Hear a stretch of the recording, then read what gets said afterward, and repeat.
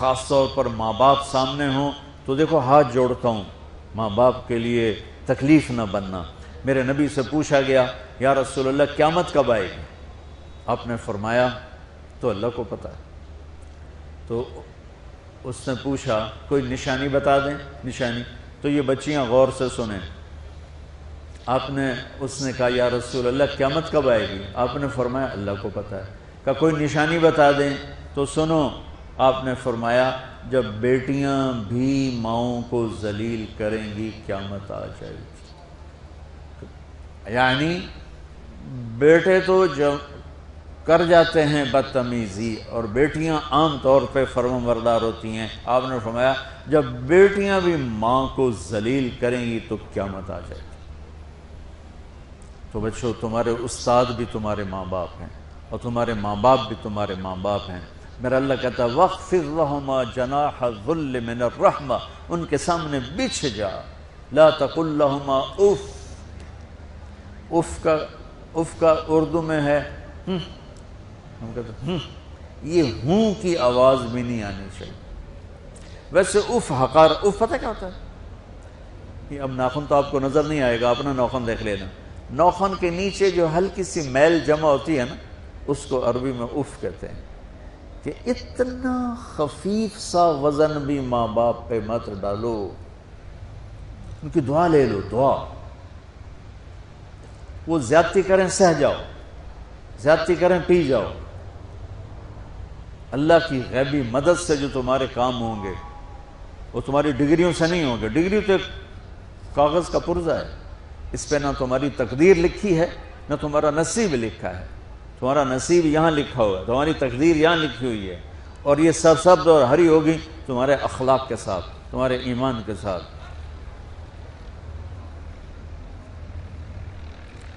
मूसम ने पूछा, या अल्लाह मेरा जन्नत का साथी कौन है? तो अल्लाह ताला ने कहा, वो जो कसाई है, फलामो तेरा जन्नत का साथी। मूसम उसको देखने पहुँच गए। देखा तो कसाई बैठा, चौकड़ी मार के गोश्त काट काट के बेच रहा है। वो बड़े हैरान हुए। ए मेरा जन्नत का साथी कि बन गए जब वो अपने सौदा बेच चुका तो एक गोश्त का टुकड़ा उठा के उसने डाला थैले में और चल पड़ा। मूसा भी साथ हो गए। मूसा, चार बड़े नबी हैं, नूह, इब्राहिम, मूसा, ईसा, और इन सबसे बड़े हैं मोहम्मद मुस्तफ़ा सल्लल्लाहु अलैहि वसल्लम। वो घर पहुँचा तो मूसा भी इजाज़त लेके अंदर आ गए। उसने जाके वो गोश्त के टुकड़े बनाए और सालन पकाना शुरू किया। आटा गूंद के रख दिया। सालन तैयार हुआ, आटा नरम हुआ, रोटी बनाई, थाली में रखा, रोटी, सालन। और एक बुढ़िया अपनी चारपाई पर ऐसे लेटी पड़ी थी यूँ कर टांगें सुकड़ी हुई और हाथ यूँ ऐसे कर। तो उसने उसको हिलाया, मांझी, रोटी रोटी खा लो। तो उसको यूँ हाथ का सहारा दिया और लुक में बना के खिलाता रहा खिलाता रहा। यहाँ तक कि उसने कहा, यानी बस। तो फिर उसने उसका मुँह साफ़ किया। जब लिटाने लगा तो वो कुछ बोली। मूसा दूर थे तो सुन नहीं सके। उसकी बड़बड़ाहट थी तो जब वो फारग हुआ तो मूसा ने फरमाया, मेरे भाई, ये कौन है? कहा, जी, मेरी माँ है, मैं कसाई हूँ। मैं सुबह इसकी सारी खिदमत करके जाता हूँ, फिर शाम को जब आता हूँ तो पहले सारा इसका काम करता हूँ, फिर बच्चों को देखता हूँ। तो मूसम ने फरमाया ये कुछ कह रही थी जब तुम इसे लिटा रहे थे। तो कहने लगा जी बस माँ जो हुई, कहने को उसने क्या कहना है? जब भी इसकी खिदमत करता हूँ तो मुझे कहती है, अल्लाह तुझे जन्नत में मूसा का साथी बना। मैं तजी कसाई कम और वो मूसा कलीम, मेरी केड़ी औकात है? मूसा इस्लाम की आँखों में आँसू आ गए। तो तेरी माँ ने तेरा काम बना दिया तो बच्चों, अपने माँ बाप की हाय न लो, दुआ लो। और माँ बाप से कहता हूँ औलाद को इज़्ज़त दो बेइज्जत ना करो। जो कभी माँ बाप बैठे कोई नहीं बहुत थोड़ा तुम सारे बच्चे बच्चे बैठे हो लेकिन ये आवाज़ जाएगी कैमरे के ज़रिए। माँ वालदेन से कहता हूँ अपने बच्चों को इज़्ज़त इज़्ज़त नफ्स को तु, तुम कल को बाप बनने वाले हो। तुम्हारी कल शादियाँ होने वाली हैं ये माँ बनने वाली हैं तुम बाप बनने वाले हो। अल्लाह के वास्ते ये जो हमारा तालीमी निज़ाम है इसने हमारे बच्चों को पागल कर दिया है। तीन साल के बच्चे के ऊपर बस्ता लादना, ये उसको तबाह कर देना है। उसके सारे न्यूरॉन ही जल जाते हैं। और तीन साल के बच्चे को माँ की गोद चाहिए, स्कूल नहीं चाहिए। मेरे नबी ने कहा, सात साल तक नमाज़ भी ना कहो तो क्या करो? वक्त दो, मोहब्बत दो, इज़्ज़त दो, एहतराम दो। सात साल में हर शय भर जाएगी, फिर वापस तुम्हें करेगा, सारी ज़िंदगी तुम्हें वापस करेगा। हमारे हमारे आजकल के जो नौजवान वालदेन हैं, एक तो उन पर स्कूल का फोबिया सवार है, दूसरा से मोबाइल का अजाब सवार है। बच्चा बात करता है, माँ मोबाइल में लगी हुई है, कोई ड्रामा वेखी जाती हाँ। बको क्या कहते हो, सुन रही हूँ। वो वहीं फौत हो जाता है। बीवी बात करने लगती है और मियाँ साहब फ़ोन में लग जाते मियाँ साहब बात करने लगते हैं, बेगम फ़ोन में लग जाती ये तो हमारी ज़िंदगी। इतनी लाइफ क्वालिटी गंदी हो चुकी है कि इन्हें खाने पर भी सुकून नसीब ने खाने पर भी कारोबार कर रहा था। तो बोला रोटी खा रहे हो, जहर खा रहे हो? चलो एवं गुंजा टॉयलेट में टेलीफोन सुन रहे हो। दो आवाज़ें आ रही होती हैं वहाँ।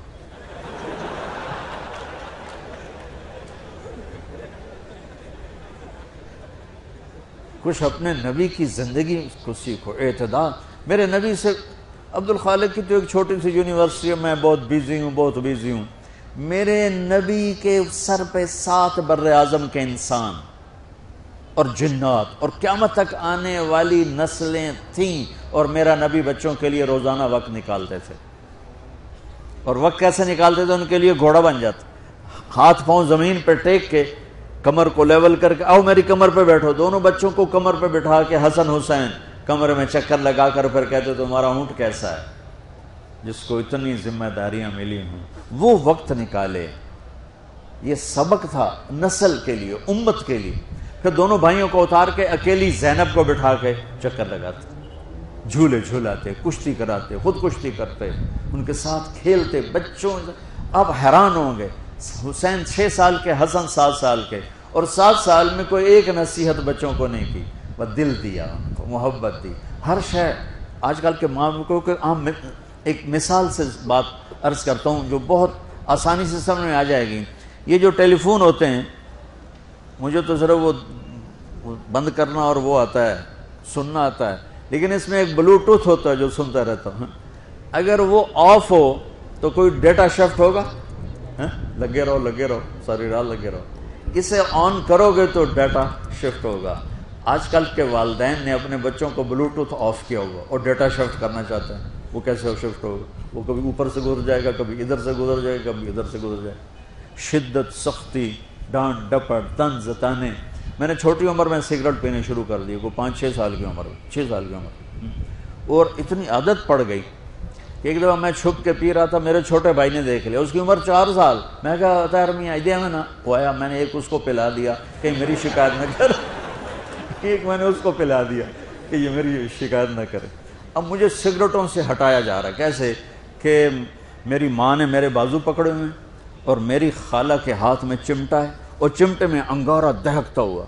और वो मेरे यहाँ पामा तेरे मुँह में पामा तेरे मुँह में पीने का सिगरेट पीने ओ मैं नहीं पींदा मैं नहीं पींदा।